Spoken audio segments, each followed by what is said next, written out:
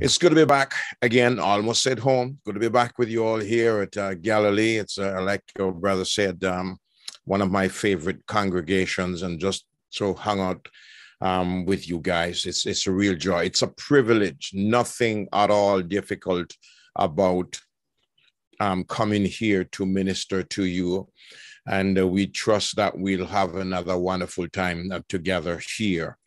Uh, let me invite you immediately then to join me on your visual aid as we're going to use that to guide us in our in our studies as we try and forge ahead um, dealing with our subject. Let me just line it up and make sure that I get out of the way and you can see your screen uh, very clearly. So to fix your GPS, you're at Galilee Gospel Hall. And if this is not where you intended to be, then you're mistakenly in the correct place. So stay with us until the end, and then you can go your merry way. But we right now we are very happy to have you, and we are going to introduce our subject. I want to thank the elders again for the opportunity here at Galilee to be addressing the subject matter at hand. We're going to be looking at the doctrine of hamartiology, which is the biblical study of sin. And I'm your Bible teacher, John Fraser. Sin is man's only disease. The only disease the human race has ever seen is sin. That might sound strange to you, sounds new to you, but this is a scientific fact. The medical fraternity is not going to surrender or agree with this total. There are individuals there that will agree that sin is only is the only disease that man faces. All other issues are symptoms. You treat this right, and all the others disappear. You notice all those who work in the field of human services and um, caregiving, whether dentistry, whether it's the dietitian, whether it's the nurses and the doctors. You don't have these professionals in heaven. And the reason why we don't have them there is not only because we don't need them, but there's no sin.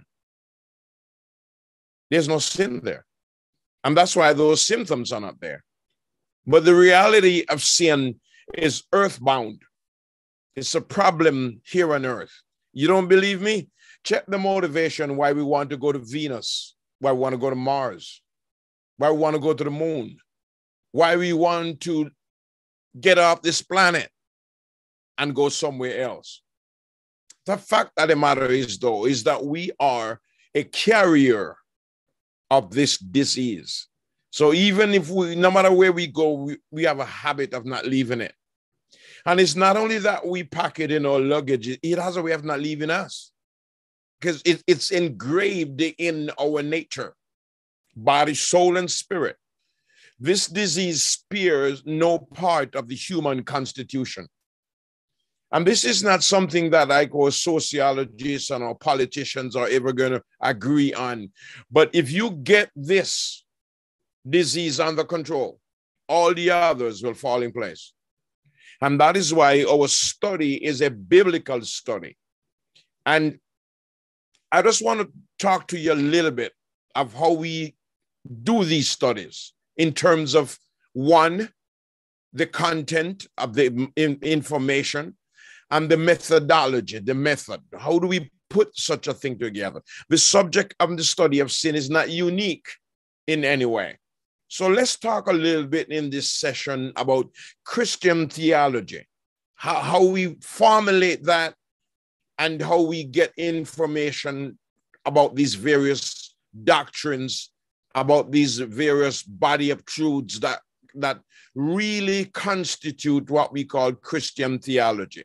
The word theology then comes from a combination of two Greek words. Let's take the prefix first. It's the Greek word theos, and it means God. And then you have the, the, the suffix, which is logos, and it means a word, a thought, a reason, or a study, or a discipline.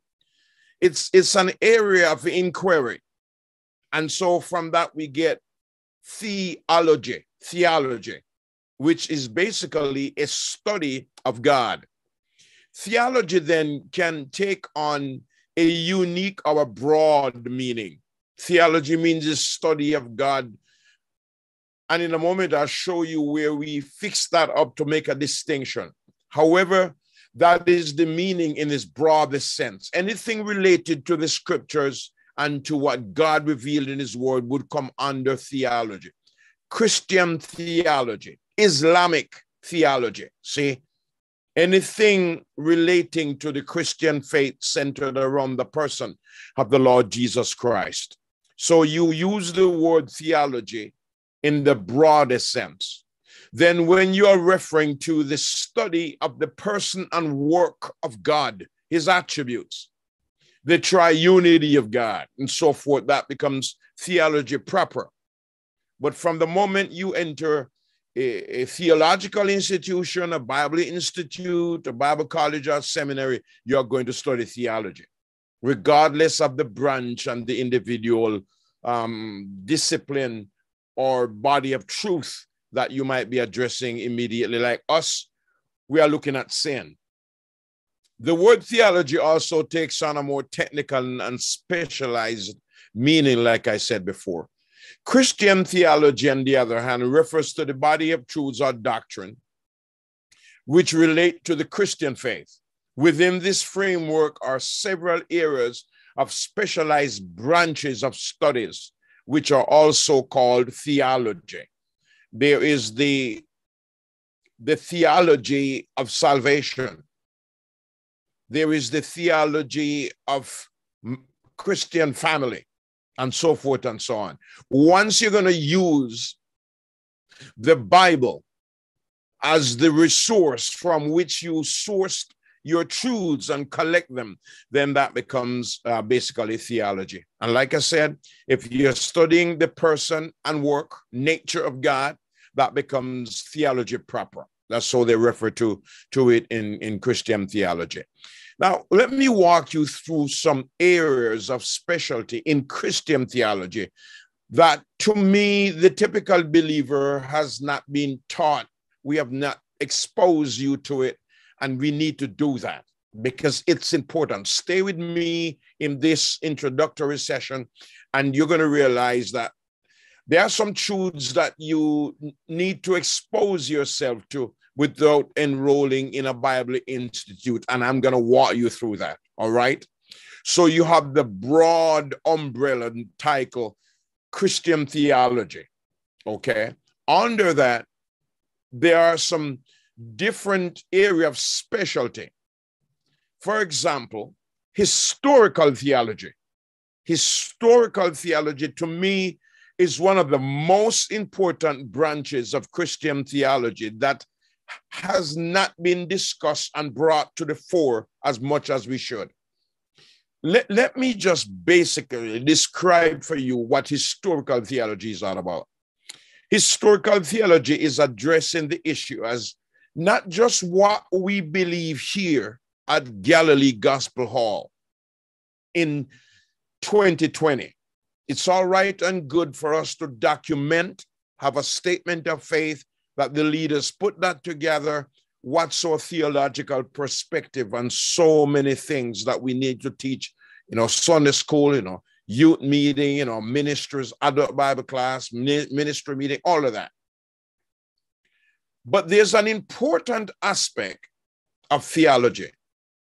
It's that which lies between the Bible, what is in the Bible, and what we understand today as we speak. So we would call what we believe today, let's call that current theology. And then there is biblical theology, what the Bible says. Between what the Bible says and what we believe lies historical theology. Now, why is that important?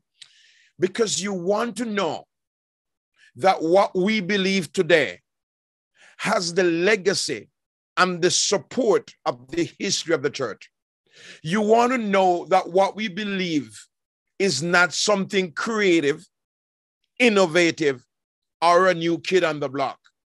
And that is why historical theology helps to guard us and to protect us from being creative and innovative in our doctrines. Now, today, believe it or not, the, church has neglected that. And I love to illustrate and compare that in such a way to basically somebody who is involved in an accident, okay? You were not there, but somebody told you about the accident, but somehow you think you're qualified to tell the person what happened, even though you turn up after the accident. You know anybody like that? Well, isn't that basically what we have with the journalists, most of the media houses in the world? Is that if you were to tell them what transpired and you witness an accident, you know, they prefer their concocted version of what happened. Even in court, sometimes lawyers do that, but then they are trained to do that. They will tell you, I put it to you, this is what happened. Now, you have to be very careful. Very, very, be very careful how you try to override the testimony and the ministry of somebody who is witnessing about something they experienced. You, you, you really don't want to try to tell somebody what transpired when they, in fact, witness something.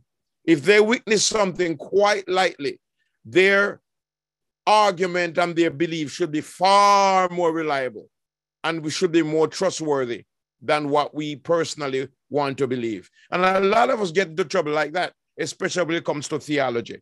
Why? Because the believers before us, the generations of believers before us, are closer. Their lifespan and chronology happen to be closer to the men who received the revelation. You perhaps have heard, and let me bring this on the screen and read this, and then I share something with you that I know you have heard before. This branch of study within Christian theology concentrates on the inquiry and investigation of Christian doctrine in their historical development. You must have heard the, the term church fathers. Now, the church fathers doesn't mean that they gave birth to the church. That's not what the title really means. The church fathers, and there are three groups that we're not going to get into, but I'm just going to tell you basically who the church fathers are or who they were.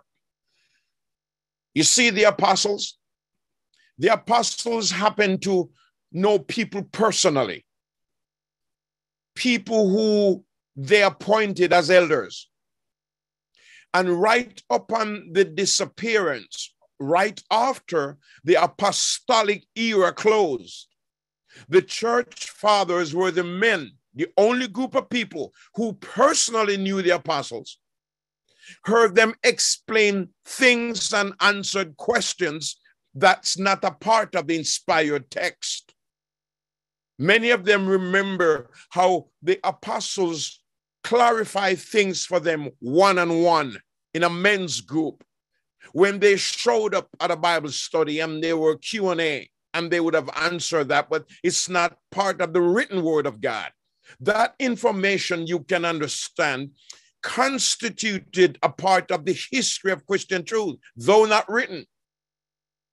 And so those men, when the apostles disappeared and when that year came to an end, these men constituted a very important link in understanding one, not only what Christians believe, should believe, but how we should behave. And to add to that is how these church fathers understood the apostles and their writings. Believe it or not, is far more important than we realize. What they wrote, what they recall, and what was recorded by the church fathers definitely not inspired. But they help us to understand the interpretation of the apostolic writings. So historical theology is not to be ignored. In fact, this is one of the major flaws and failures in Pentecostalism. And in Pentecostalism, and the child to which they gave birth to, called the charismatic movement, is that Pentecostalism is not old, you know. Really, it's not. The church existed 1500 years without anyone believing, claiming that the sign gifts were with them. The church fathers made no reference to these things that Pentecostals hold on to today that become indispensable in their belief and in their Christian practice. Now, historical theology help us. Help us to realize that, hey, wait a minute. Those men and church leaders who knew the apostles never thought that the sign gifts were here to stay. And so there's an absence of any reference to things like that. But apart from just the issue of Pentecostalism, is the issue of how we understand the doctrine of sin and how the church limited, limited their sources of information. For example, if we were to address the issue of the 66 books of the Bible, and those groups that have additional books called the Apocrypha, to which you sometimes would hear our Rastafarian friends talking about the Maccabee Bible. There's no such thing as a Maccabee Bible. It, there are two books or three books, first, second, and third Maccabees, that are in the Apocrypha. So there are extra biblical books that the church fathers never used nor recognized as canonical. So today we don't use them. And we're going to look at that next week too, in terms of what will be our sources, our source of information as we look at the subject of sin. Now, historical theology examines how the church arrived at her beliefs and how she responded to error throughout her history. That is where the church councils come in important now, where certain doctrines and truths that are pertinent to Christian theology, how they were addressed, how they were resolved when church leaders met. Interestingly enough, the first church council was held as recorded in Acts chapter 15. And that church council was chaired by James, the half brother of our Lord Jesus Christ. It is that first church council, and the Apostle Paul was in attendance, can you believe it? And Barnabas with him. They were very uncomfortable, of course, of having the Apostle Paul believing that perhaps he was a spy, etc., etc. But it was Barnabas who encouraged them that this man is authentic, this man is genuine. Now, at the first church council, hear what was addressed the relationship between Gentile converts and the Old Testament laws. Even though today the Seventh day Adventists seem to don't read Acts chapter 15, that they, it was addressed what bearing, what authority, how should the Gentile convert treat the Old Testament? Well, that was resolved at the first church council where the apostles, guided by the Spirit of God, concluded two things. One, they should abstain from meat that is, where the animal's life was strangled out of it. In other words, the animal did not shed its blood, and so the blood remained in the meat. And so we should not eat blood today, by the way, the blood of animals. And when I say eat, I mean include drink. It's prohibited. It's one of the carryover laws from the Old Testament that was resolved at the church council. The other one, of course, is circumcision and all the other demands of the law should not be brought to bear upon new converts. That was resolved and settled. And Peter seemed to have forgotten that. And so the Apostle Paul had to rem- remind him in the book of Galatians. But be that as it may, the point is you see the history. It just happened that the first church council took place while the inspired apostles were still around. But we have had subsequent church councils throughout the history of the church, councils that deal with the, the, the Bible, canonicity, whether or not we're going to recognize the, the Apocrypha, the Council at Carthage address that and throw up the history. So historical theology is really, really important. History is important to us. Somebody rightly re- uh, observed that the person, our nation, that forgets his history is bound to repeat the past mistakes. We see that in families. I remember my professor that taught me one of the part of Christian counseling very dear man of God, shared with us that he doesn't drink wine, he doesn't drink any drink that has alcohol in it. So, of course, before we even ask, he explained it's not because he's anti alcohol. He explained that alcoholism has a bondage in history of his family. His grandfather was an alcoholic, his father was, and he explained knowing that issue in his family genes. As a, as a young man and as a man of God, he decided not to even taste it because of the history of how it works in his family. Now, that's an act of wisdom. When you know the history, you can apply knowledge and demonstrate wisdom. So, history is so important. You don't want to come up with new doctrines. You can find new way of saying it, saying all things and so forth. But the content should be rooted first in the inspired text and with the history of Christian theology.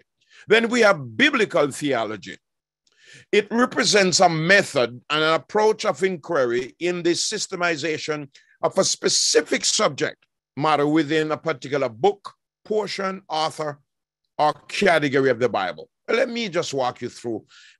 For example, you could have a theology of Genesis. In other words, treating how the book of Genesis address certain issues. Okay? And you stay within the book of Genesis.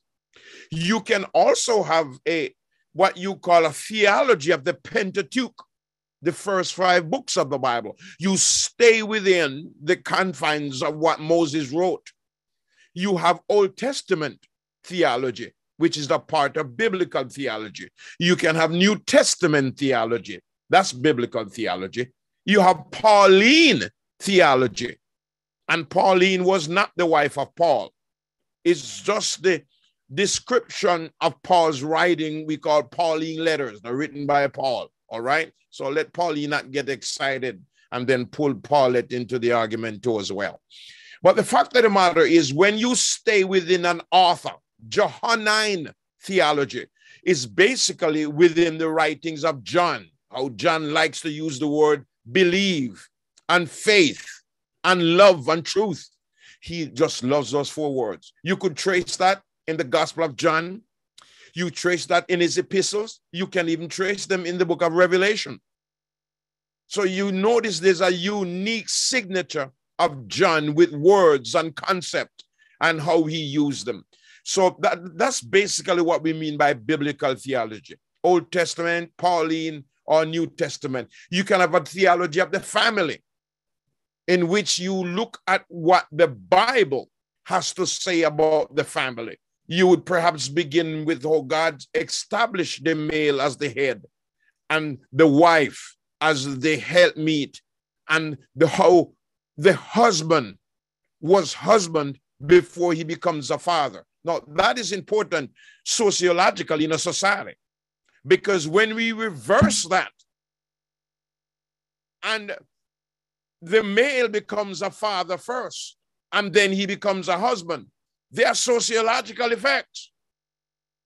When we violate God's order and God's chronological sequence, see? So a man marries a woman and he becomes a husband. And notice this Consequently, he becomes a father.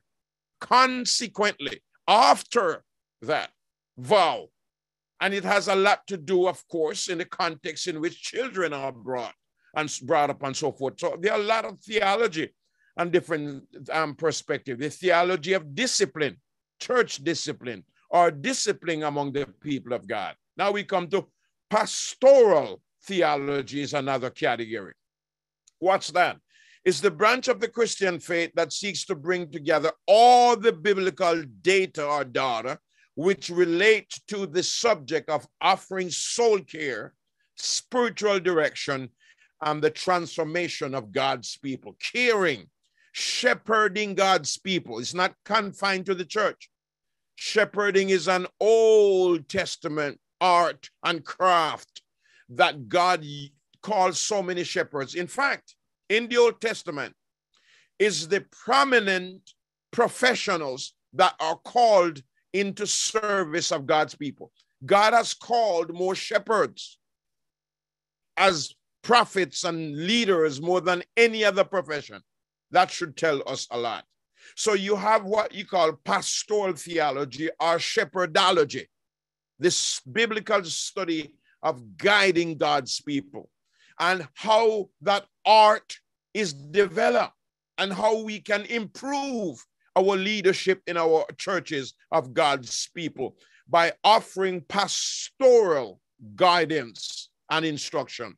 The primary objective of pastoral theology is to examine within the context of the Bible those passages with, which address shepherding with the intent to help increase our competences of those who are engaged in pastoral responsibilities.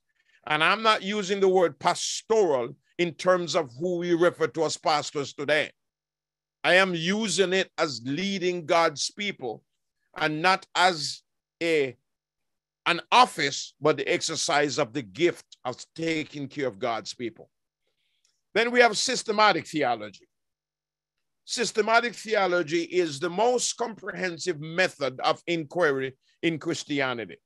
The major emphasis of this approach is to systematize all data found in the Bible into specific categories are sub- and our subjects. Now, this is very, very important.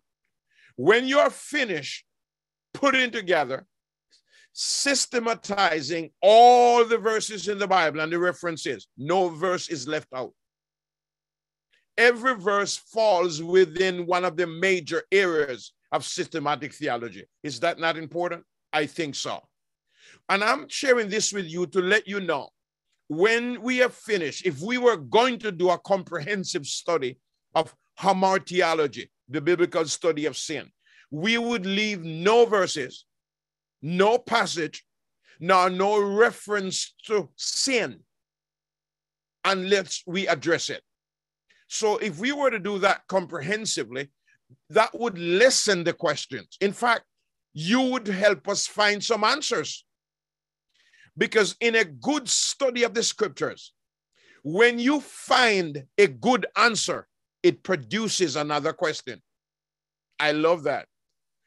Good Bible teaching and study, good biblical answers produces more questions. Jesus, on one occasion, addressed the disciples. If I recall, it's in the Gospel of John, could be chapter 16.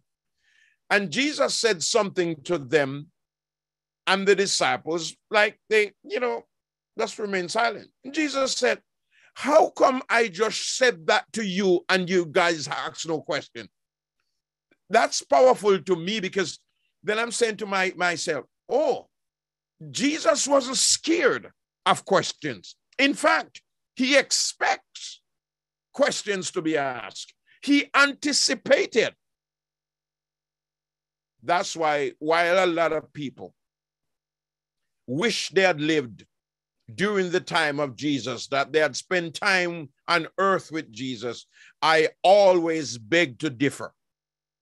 I never wanted to be around when Jesus was on earth at all.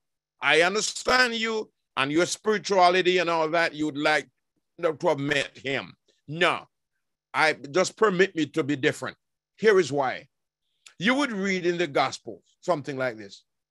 And knowing their thoughts, Jesus said unto them, Are you serious? You want to be around somebody like that? No, I, I don't even muster the courage to try to formulate a question. And Jesus intercepted my thoughts and expose it? No, I am too personal and private a person. That's all right. I wait until I get to heaven. The scariest person for me that crossed my path was my mother. That woman, God bless her soul, she's in heaven. She would look at you and say, Don't even think about it.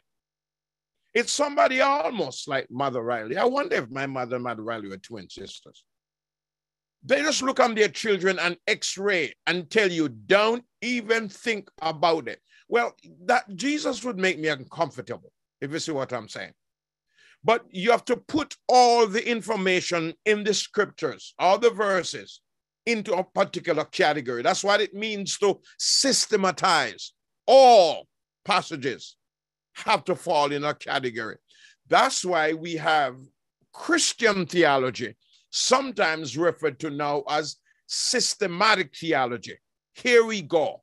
There is theology proper, which is the biblical study of God. What we mean by that? What God reveals about himself. Not what you think about God, not what I think about God, not the God of the philosophers, not the God of the skeptics sitting under the old oak tree, but the God who initiated revelation. Revelation is not an invitation for us to speculate. Biblical revelation is not the collection of polls. And that's why in my study and teaching ministry, I do not conduct polls. I really don't care what most people think about Jesus or think about sin or think about life after death or think about same sex marriage. I have no interest in what society thinks about it. What I'm interested in is what God says about it. Because when God speaks, not are the king's horses, nor the king's men, for he can never be out- outnumbered.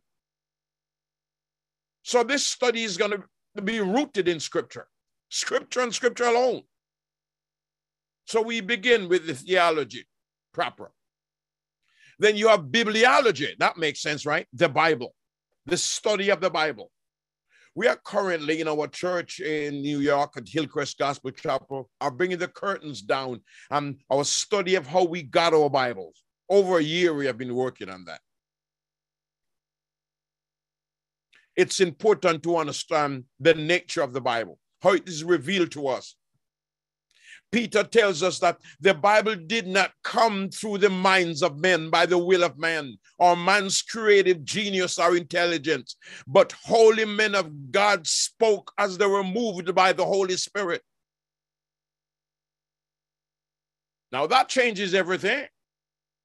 Because while some people are distracted by Paul's past and with his personality, which all of us have, you understand that it was the Holy Spirit who breathed, breathed thoughts in his mind, who moved his hand and controlled his pen to write what he wrote. So please, when you're discussing the writings of Paul, don't try to undermine it by telling me he was a male chauvinist or he had problem and issues with women. I need you to understand what Peter said, that holy men of God spoke as the Spirit of God controlled their hearts and their thoughts. So we just don't say Paul says, really, it's God who says. Study the Bible. It's the final authority. Behold, it is written.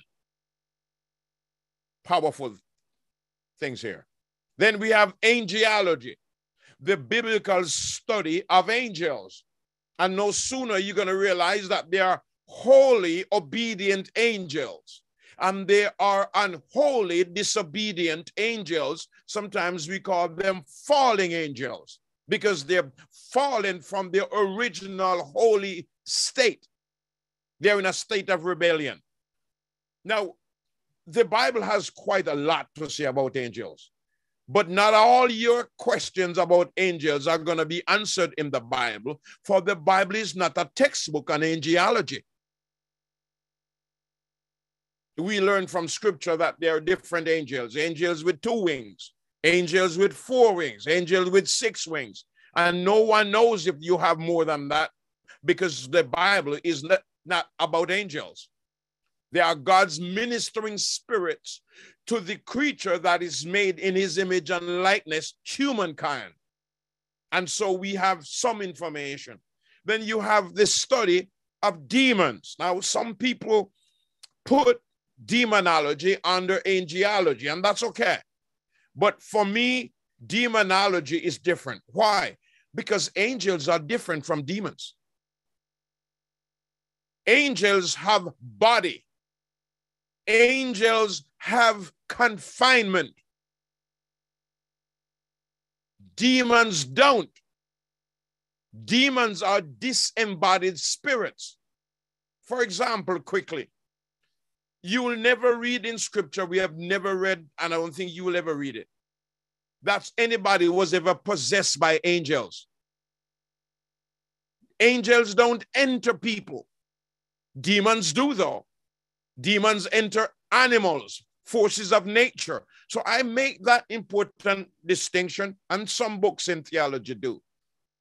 Then there's anthropology, the study of humankind, Homo sapien, who we are, how we were made in the image of God. And no sooner you study that, especially you have to begin in Genesis, and you see how God made man to have dominion, etc., etc., you have got to ask yourself the question You mean God made us like that? That's the way we were? Yeah. The forgotten story of our former glory is what I call it. So you have to ask then, how did we get here? What in the world happened? And that's when you come to the next relevant study for me, which is where we are. This study of sin, this study of the wreckage of the fall of man, this study of man's original damage from which he has not recovered as, an, as a race of people.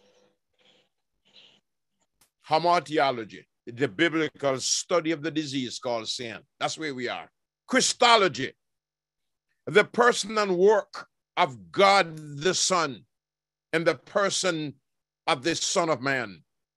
Powerful. You know how indispensable that is. Soteriology, the solution that God has provided for the human predicament through the person and work of the Lord Jesus Christ. So there's an inseparable link between Christology and soteriology. There is no salvation that is not wrapped up in the person of the Lord Jesus Christ. For there's only one mediator between God and man. There's only one name, one solution that heaven has issued for this vaccine for the human virus called sin. That is the biblical study of salvation. Pneumatology, the study of the person and work of the Holy Spirit. Another fascinating study. We just completed that at one of your churches there in Jamaica. And what, what a time we had on the study of the person and work of the Holy of the Holy Spirit. Ecclesiology, the biblical study of the church. And when you hear people referring to the church in the Old Testament, you know they are not studying the scriptures right. For Jesus said in Matthew 16, 18, I will build my church. That was yet to come, and it started under the Pentecost. And so you study that in scripture and you realize it's different from Israel. The church is different. We're a part of the church. So that's ecclesiology. Eschatology. It means the study of last things. Interestingly, that's what the word literally means. Eschatos, last, last things. But when we study eschatology, we study prophecy. The issue is really clarity. There are far more prophecy in the Bible than what we would study today. You said, Preacher, what do you mean by that? Some of biblical prophecy have become history. They are fulfilled already. Behold, a virgin shall conceive. See, that was Isaiah's prophecy today is history. So it's, it's an interesting study. But these formulate the body of systematic theology or Christian theology I believe they ought to be taught in every church that is linked to the New Testament. There should be no New Testament church or no New Testament believer who's not exposed to the body of truth because you will never be able to understand what God says about sin until you do a series on sin. No one verse in the Bible is going to totally address the subject of sin. In fact, if you don't do what we are doing, you're going to be confused because you have heard it said, as I know I have, all sin is sin. And it's hard to oppose that. But that's not exactly correct. For the Bible says there's a sin unto death, and there, not all sin leads to death. What does that mean? See, we're going to look at that because we are doing a series. So it is not true that all sin is sin. In fact, if that were true, you would not have Leviticus, now would you have Exodus? Because in there, God instructed Moses how to judge different sin and crime in Israel. Certain sins were to be atoned for in a particular way. Certain time restitution has to be made when certain sins are committed. Certain times execution has to be done when certain sins are committed. So you see, already we know it's not biblically true that all sin is sin. It's like saying all crimes are crimes. Oh, no. You know, in every civilized society, you have high crime. You don't believe me? Just notice when somebody is arrested for a crime, look at the nature of the bail ban that is posted. It usually give you a hint of the severity of the crime. So all these we are going to refer to within the confine of scripture.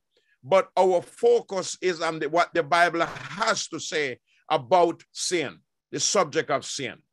Let me set up a pyramid illustration here to communicate which one is fundamental in our process in looking at the different body of truths or theology today.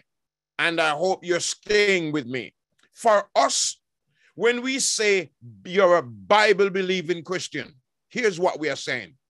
We are saying that the Bible sits at the foundation of your belief and your behavior. The Bible, not the Vatican, not headquarters, not a synod, not a committee, but the Bible. That is why the, the, the, brethren have developed this addiction by asking questions where in the Bible can I find that? The Bible has the final. In fact, that's how we respectfully discuss differences and disagreement with one another. We base that on the Bible, not on articulation, not on somebody's ability to persuade you, not in packaging, not in marketing, but in basing it on the scriptures. So the written word is the foundation. It sits at the base of the pyramid. Everything else must be based on that. So immediately relating to the written word of God is a theology we call exegetical theology. Don't watch that big word. It just means that you're bringing out from the scriptures what God said in the original languages, because that is important. Why? Human languages like our English Bible and translations, our languages, words change meaning, etc., etc. God, in His wisdom, gave the Old Testament prophets through dreams and different media his word in a language called Hebrew. Now, there are different types of Hebrew. You even have modern Hebrew today, all right? But the Hebrew that God revealed the Old Testament in, and a small portion in Aramaic, those are not languages that are used today. There's Hebrew, but not ancient Hebrew. God froze that type of Hebrew in time. Why? So you can't apply current meaning of words and confuse what God said with what the interpreter is saying today. Here's the problem we have. A lot of things preachers are saying have no biblical foundation, if you see what I'm saying. That is why so many of us gravitate and recognize the authority in the teaching of such Bible teachers as John MacArthur Jr., David Jeremiah, and these scholars who interact with the original languages, because that is important.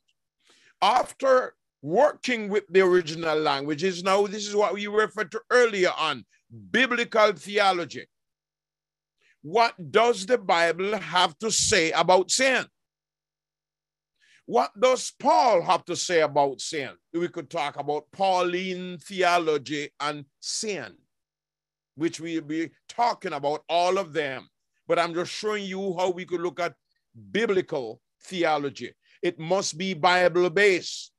It's not where you interview philosophers and teachers, and well, God forbid we would interview politicians about that.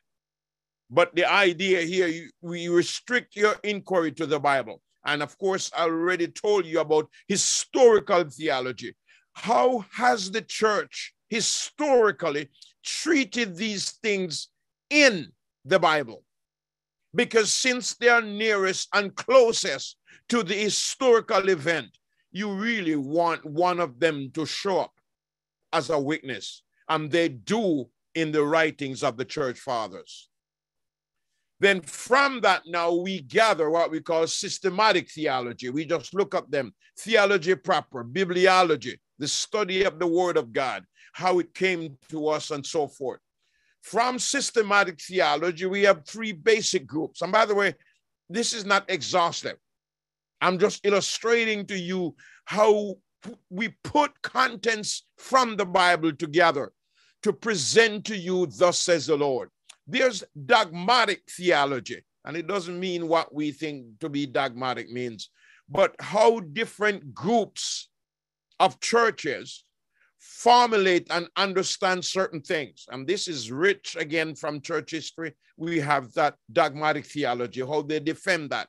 Apologetic theology, we know that. God has blessed us in our time with some very gifted uh, apologists. In our time, now we have like Norman Geisler. We have men like uh, he just went to be with the Lord. Um, his name just slipped me now, but we have some some some great Bible teachers that God has raised up to defend biblical truth and to show us from Scripture and and even in the area of human thinking, they help us to understand. Uh, R.C. Sproul is the name I was looking for. See, I just uh, had a restoration of my memory. And then you have practical theology. Practical theology. Did you know that there's a theology of business? Yeah, business theology. How you, as a person, want to start a business, how you use the scripture to guide you. Yes, there is such a thing as business theology. Then you have biblical counseling. That's practical theology. We talk about pastoral counseling or shepherdology. That's practical, helping us to apply the word of God. All branches of Christian counseling then would fall under practical theology. Whatever we are doing is how we act, conduct ourselves in a biblical way or in a godly way. Okay? So, hamartiology then is the biblical study of the disease that have come upon the human race. And believe it or not, the Bible does have some interesting thing to say about this, this disease. This is the study of the most deadly and dangerous of all human problems is the biblical study of sin. For the wages of sin is death. That's Romans 6 23. For all have sinned and fall short of the glory of God. And you don't want to be mischievous here to say to a short person, all of sin and fall short or come short. You want to complete the verse So you, you six footers are included. This is a biblical diagnosis of the number one killer of all times. And we are going to look at it. So when we come back in the next session, look up that word. Whoever could spell the word next as nest, he has to be a sinner. So you can begin to think about forgiving that one. We're going to look at the diagnosis, how the Bible diagnoses our problem. We're going to look at the biblical prognosis. What if we do not do something about that which have been diagnosed? The process is called prognosis. And then we are going to have the joy and delight of looking at the biblical prescription to sin, how God solved the problem, how he dispatched his only son from heaven, carrying the heavens detergent to wash us and cleanse us from our sins. That if you will believe in your heart and confess with your mouth that God raised Christ Jesus from the dead, you're saved, and you're not only saved, you're safe. You're on your way to glory. So we are not only going to look at the disease, we're going to look at God's given prescription to the sin problem. So stay with me, stay with us. It's going to get better. Our Father, we thank you for your word. We thank you that your word is truth, that your word is final. And we thank you that we have access to it. Guide us, we pray, not only in our Q&A, but ultimately control and guide our thoughts within the confine of your revelation. So we believe what you have revealed and that we never recover from your word, but always applying it to our heart. Not just for our sake, but for Jesus' sake, we pray. Amen.